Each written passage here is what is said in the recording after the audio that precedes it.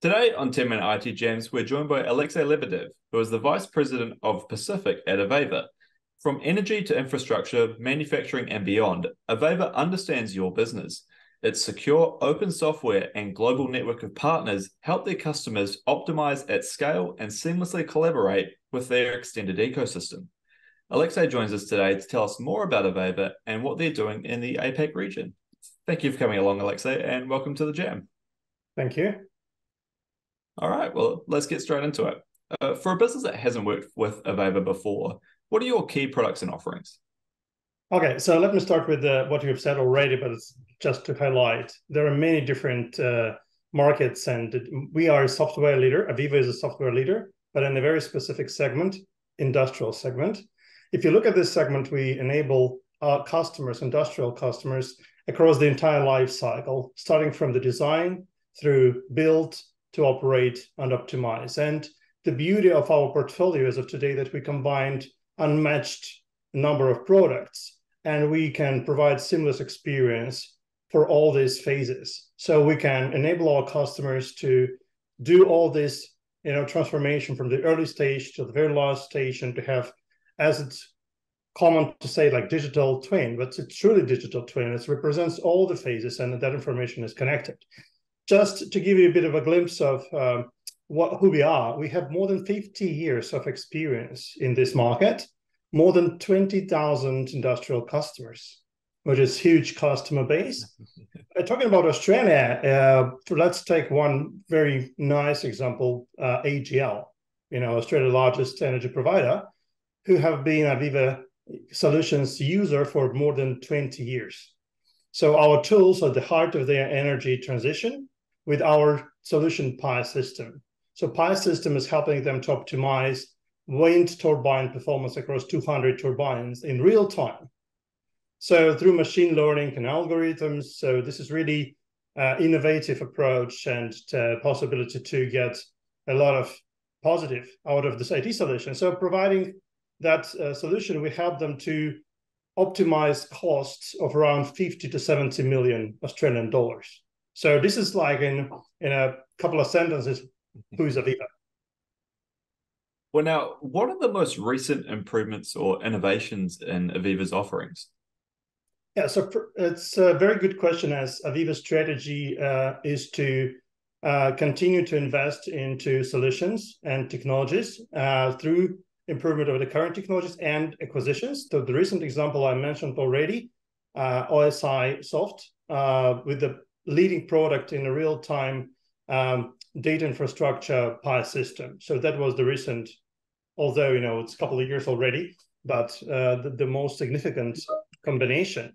Uh, then we continue to shift into the cloud. So we develop a SaaS model for our solutions. We trans transition our products into SaaS. Sustainability for us, it's a it's a very natural to provide our customers with the functionality which should help them to get the best out of their existing assets or to design assets assets with the you know uh, something which they can really find the benefits in, at the earlier stage. So it's it's one of those two significant focuses. As a vehicle when we talk about a customer experience we developed model of the licensing which is called flex when it's the simple analogy can be uh, when you buy some kind of mobile pool credits and you consume them the way you want. So this is kind of uh, a similar approach, and we want to transition over the 80% of our customers into that mechanism to allow them to consume the older products from our portfolio. So instead of the old model, when they were buying one product, or and then we're buying another one and another one, and then you wonder, okay, how the consumption goes. Uh, should I buy more of these or more of those, and uh, how to get rid of the licenses I may not necessarily use today.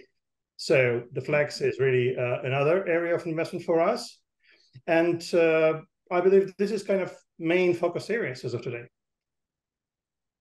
Well, now I guess shifting tack a bit, what trends are your product development teams laser focused on next? Yeah, so it's uh, it's uh, that was always in the heart of uh, everything uh, Aveva does. Uh, you know, focus on a customer uh, base and focus on the needs of our customers, as we really want to enable our customers with the latest technology. So 16% of the revenue we earn, we invest into R&D. This is over 100 million a year. So we really dedicated to help our customers with energy transition, sustainability solutions. We develop uh, the concept which is called metaverse, although it may sound very um, futuristic and uh, far far away from today. It's not that far away. The simple uh, we have a simple video from R and D where you can get a real feel. What is it? Uh, for those who play computer games, you wear VR and you see like gates into the different uh, solutions. So when you uh, go through those gates, you physically, not physically, virtually, mm-hmm. uh, appear in a either a plant where you can touch uh, virtually all the um, meters, all the equipment, uh, and you can get information. You can drill down information. You can get information in context. For example, if the pump fails, you can get information what happened with the pump over the period of time, which is really VR. And hmm. uh, this is what we call a metaverse experience. Another metaverse experience when you deep dive into engineering project and you physically, okay, not again physically, you as human, you see others working in this project they use different tools, but you see them and you can approach them, you can ask them, you can work with them on the same piece of equipment. You can see the, what they do in the design tools, and uh, you can see that in a virtual environment.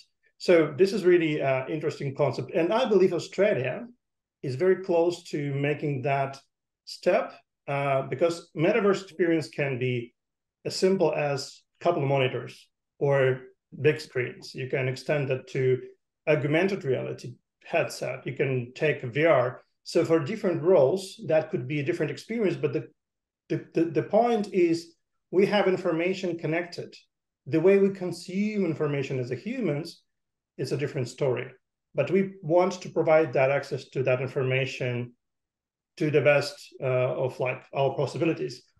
So this is kind of uh, the recent very inspiring. It's like it's, it's, it's so visual, you know when you when you talk about different technologies, that this is very visual. So and uh, SaaS solutions, uh, it's interesting as industrial segment was very reluctant to embrace SaaS transition. Like, uh, is it very secure? Yeah. Being IT, uh, I'm I'm able to confirm that it's very secure. Okay, uh, we have right now online banking experience, like all of us, government ex- uh, portal experience, and so on. We're not concerned about that, but industrial world was concerned by how safe it is. So we developed uh, instead of the legacy approach when all the th- solutions were inside uh, customer um, infrastructure, which is called on-premise, we developed fully cloud, which could be kind of question mark: is it for everybody? Mm. So we did, decided to build also a hybrid approach when we um, we, we we do a lot of things on the local ground to allow our customers to have that confidence and quick reaction and do not depend uh, from the internet connection, depend on uh, other uh, aspects.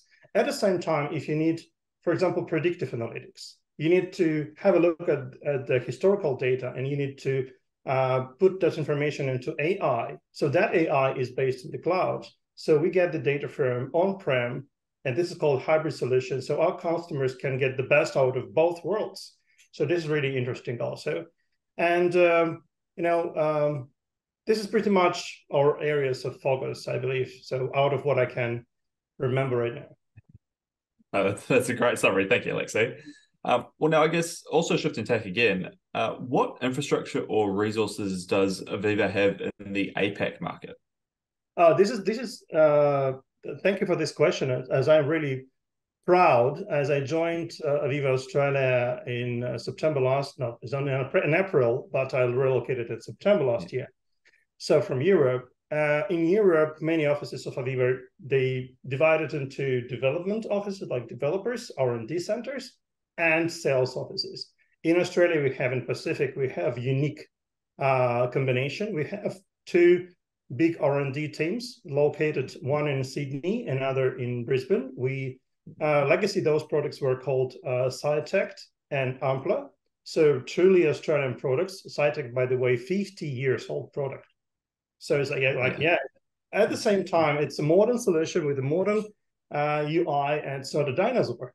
So uh, talking about uh, our um, presence here, more than 200 employees, two big R&D centers, with offices in Brisbane, Sydney, Melbourne, Perth, and our employees, we work uh, in a hybrid mode. So we have employees in Adelaide and pretty much across uh, uh, all Australia where business uh, industrial customers have their presence.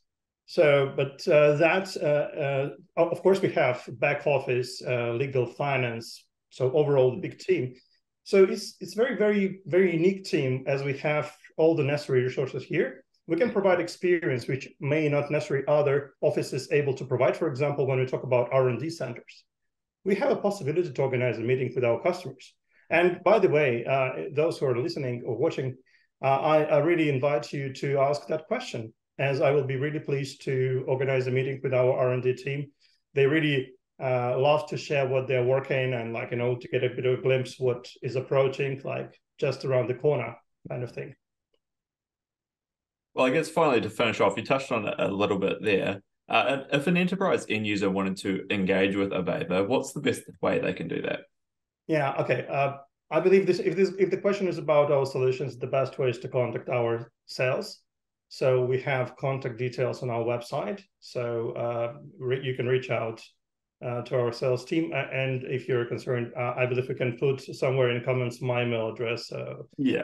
If, you, if you're not able to find uh, our sales contacts on our website, then you can reach out to me and I'll navigate you to the right contact. Awesome. Uh, well, it has been a pleasure having you on the jam, Alexey, and hearing more about Aveva and what you guys do. Uh, we look forward to hearing more from you guys very soon. Thank you very much. It was a pleasure to have a, that uh, nice and uh, short, uh, productive interview with you.